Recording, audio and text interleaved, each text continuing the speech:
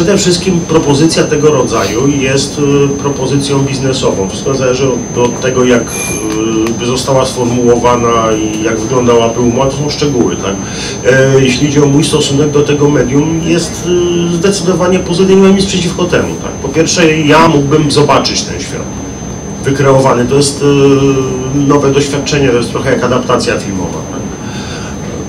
I dlaczego nie, gdyby ktoś chciał zrobić taką grę, e, nie miałbym nic przeciwko temu. Pod warunkiem, że gra byłaby dobra. Tak samo właśnie jak z adaptacją. Ktoś miałby zrobić marną adaptację, to dziękuję. Natomiast jak miał zrobić dobrą, to dlaczego nie?